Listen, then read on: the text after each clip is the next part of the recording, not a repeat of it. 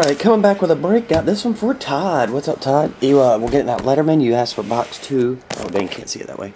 If you uh, watched that case break, I can't remember when it was, a couple weeks ago or something. Um, tattoo wrote on them. anyway, box number two. Asked for Stanley. The uh, Demon Sword of Mojo. Here we go.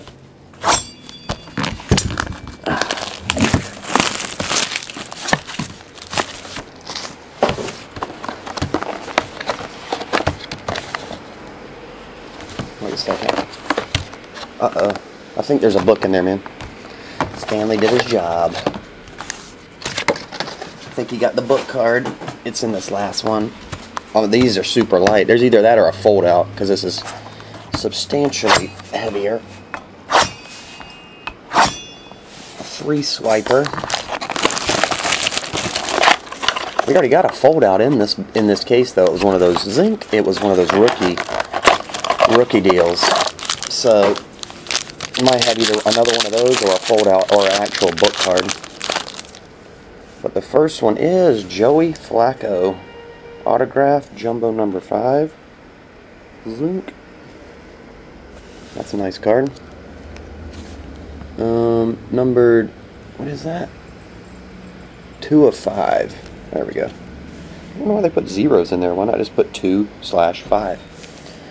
Zero two of zero five. Joey Flacco. Tony Romo, nine nine forty nine. Uh, 949 Thomas Jones, Jamaal Charles, 419. Next up,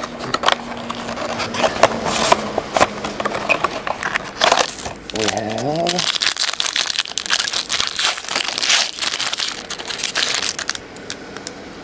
Drew Brees letter patch.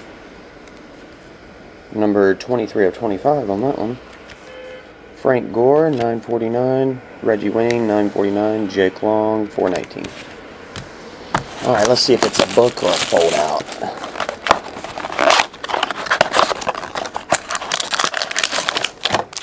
Probably a, yeah, it's to be a book. Or one of those, ah, one of those, um, Lima Swede.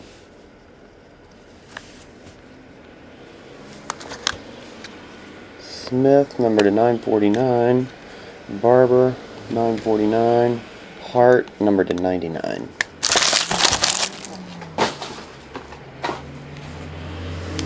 Alright, let's see what it looks like. Zing! Sweet!